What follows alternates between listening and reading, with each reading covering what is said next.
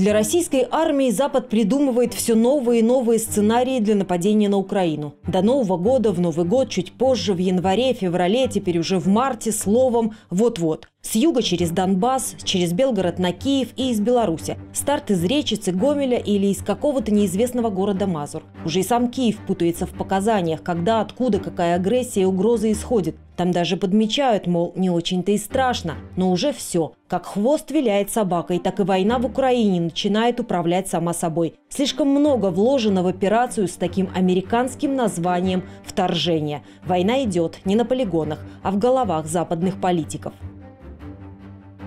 Украинские друзья, как вы знаете, обеспечиваются оборонительным вооружением, которое мы поставляем. Мы даем понять, что полностью солидарны с народом Украины, что мы поддерживаем их суверенную целостность. Но нам нужно показать России, что любое вторжение любого масштаба в Украину не обойдется без последствий. Будут жертвы. И я думаю, что люди в России должны понять, что для них это будет новая Чечня. Смерть мозга. Когда-то отдельные участники НАТО поставили Альянсу именно такой диагноз, а после последних заявлений, кажется, наступил период обострения. Переброска сил НАТО на восточный фланг, накачивание Украины военными грузами и вишенка на торте, эвакуация из Киева дипломатов США и их союзников. Удивились даже в аппарате президента Украины, мол, спокойствие – это всего лишь дипломатическая игра. В течение последних суток ситуация на востоке Украины находится под контролем. Да, стрельба продолжается. Да, нарушения режима прекращения огня продолжаются у наших границ. Но главное, что у нас ноль раненых и ноль убитых. Это вы неправильно считаете. Сразу же осадили президента Украины в Вашингтоне. Никаких сомнений, все видели танки. Значит, вторжение определено как неизбежное. Ведь душа Путина потемки для всех, кроме Белого дома. Никто не может проникнуть в мысли президента Путина или российского руководства, но по поводу вторжения мы все знаем, что это так. То, что мы видели, это приготовление, включая 100 тысяч военнослужащих на границе, воинственную риторику и другие действия. Например, операции под чужим флагом, чтобы распространить дезинформацию по всему региону и даже миру, создавая прецедент для вторжения. А вот это действительно игра. Игра на обострение. Информационные снаряды летят с разных сторон, чаще именно в сторону Москвы. Россия прекратит экспорт газа в Европу. В Киеве посадят марионеточное правительство. На Западе даже фамилию ставленника называют. И не важно, что он как-то не согласен. А пока будут оккупировать Беларусь. Учение «Союзная решимость» пишут в западной прессе всего лишь предлог оставить у нас свои войска. Мы же помним, из какого-то белорусского города Мазур тоже пойдут колонны. По планам Запада Запада где-то в конце февраля. Вопросы задают даже простые украинцы. Просто делают, э, чего барин прикажет. Я имею в виду белые господа э, заокеанские, украинские, британские. Так вот, э, наши, наши военные заявляют о 20 числе, даже не посмотрев на то, что, например, в соседней Беларуси у вас, насколько мне известно, на 27 февраля назначен референдум о союзном государстве. Аргументы, которые называются ну, грубо говоря, так, для галочки, э, ну, как бы дискуссия не ведется э, в формате доказательств. Э, ну, так необходимо просто верить, что от вас нам необходимо ждать агрессии. Ну, вот, вот и все. Причем, знаете, что я хочу отметить?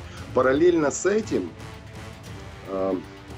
слышу, например, на FM-радио рекламу о том о сборе средств для операции украинских детей у вас в Минске, в Беларуси. Понимаете? То есть абсурдность какова. А Беларусь тем временем, как и Россия, на этой неделе оказывала аварийную помощь Украине поставками электричества. А про свои учения уже все рассказали, по доброй воле и открыто. Пригласили иностранных военных атташе, показали им реальные схемы движения войск. Там ни сантиметра через украинскую границу. Это видели и представители НАТО, но они так и остались озабоченными. Ведь только наши маневры – это повод усилить средства сдерживания и обороны Альянса на границах союзного государства. Но агрессор здесь все равно Москва столько же российских войск на тех же позициях, которые мы наблюдали в прошлом году перед Пасхой.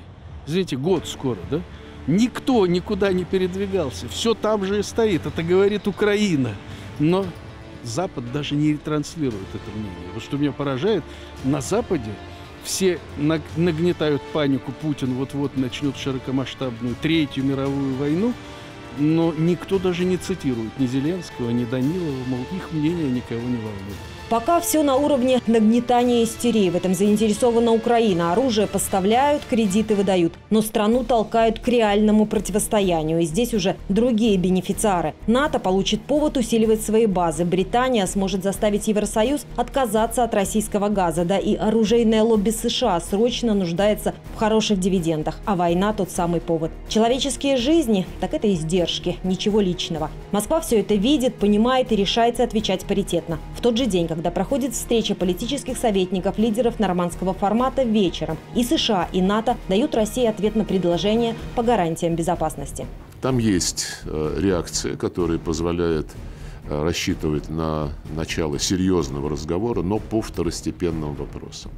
По главному вопросу в этом документе э, реакции позитивной нет. А главным вопросом, я напомню, является наша четкая позиция о недопустимости дальнейшего расширения НАТО на восток. Что касается вооружения, которое тоннами везут в Украину, оно угрожает самой стране. Об этом открыто говорят все российские эксперты. Это эмоциональное обращение к Зеленскому политолога Сергея Михеева сейчас в топе по перепостам от Москвы до Киева.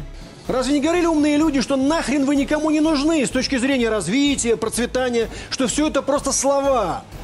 Вы бараны, которых надо погнать на войну с Россией.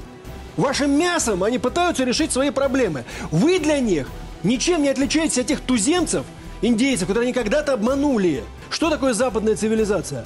Она базируется, плоть от плоти, она базируется на тотальном обмане и затем уничтожении.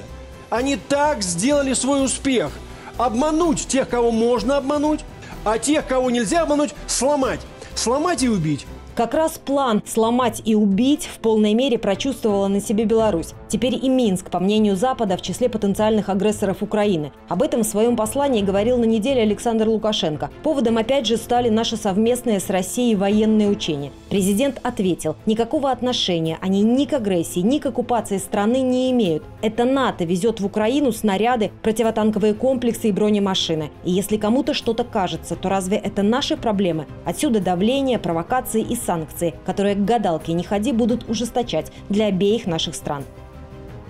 Сейчас, как вы знаете, войска расположены вдоль всей границы с Белоруссией. И я дал понять еще раньше президенту Путину, что если он вторгнется в Украину, это будет иметь серьезные последствия, включая значительные личные экономические санкции. Скучно, девочки. Ну, хоть чего-нибудь там попридумали бы еще. Пока в арсенале Запада попытки заболтать реальные проблемы и претензии к собственной агрессивной политике – это что касается диалога с Россией. Украине оставляют напряжение, страх и воспитание ненавистью. Чтобы впоследствии не происходило с Украиной или вокруг нее уже понятно, что это чужая игра, и Киев здесь заложник идущего перестроения мирового порядка. Если смотреть уже противостояние Запада и Востока, Москва дала понять, если США, а именно они рулят процессом, не получится договориться о равноправных условиях, она начнет действовать без оглядки, опираясь исключительно на собственные интересы. Они есть и в Украине в том числе. Главное оружие Запада, готовность России отступать отправлена в утиль. Что придет ему на смену? Все-таки диалог или доллар, танки, ракеты, а потом человеческие жизни. Об этом партнеры хотят говорить с Москвой конфиденциально. Это важно, потому что у Киева, наверное, появился минимальный шанс выбрать, как между злом и добром, которое должно быть не только с кулаками, но и с головой. Светлана Карульская, Ксения Коневцева, Светлана Чевдарь, Контуры, Москва.